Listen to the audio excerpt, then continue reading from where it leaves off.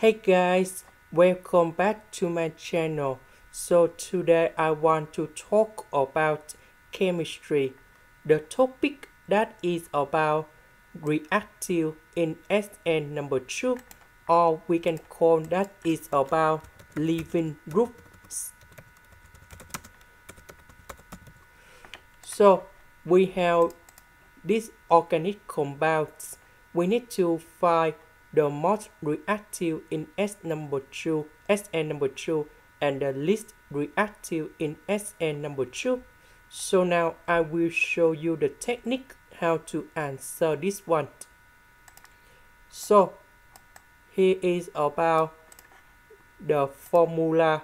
So we know that this is about the most reactive and from here go down in here. This is about the least reactive.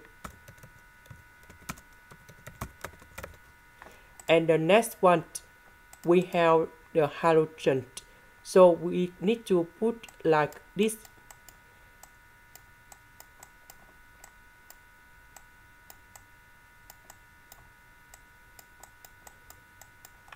This is about the most or excellent to remove in the group and this is about the list.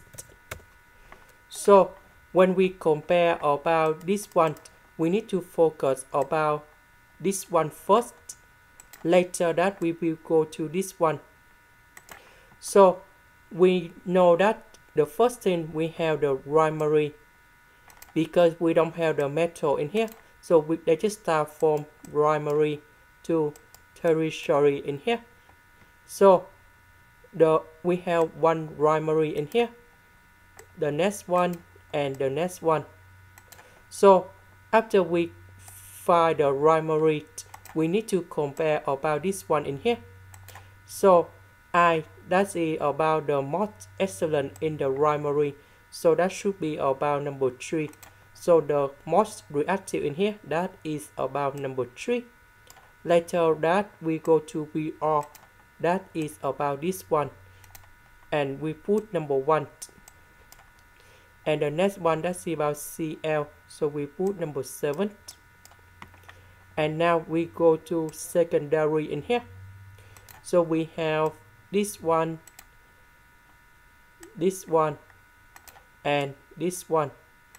After we got about secondary, we can compare for this one in here. So the secondary of this one, that is about 8 and that is about number 6. So we put number 6 go in here. Later that, that is about number 2. And the next one, that is about CL in here and the last one that's about tertiary. so that should be about number five. So we put number five going here. And that is the technique how to answer about this one. This is the end. Thank you for watching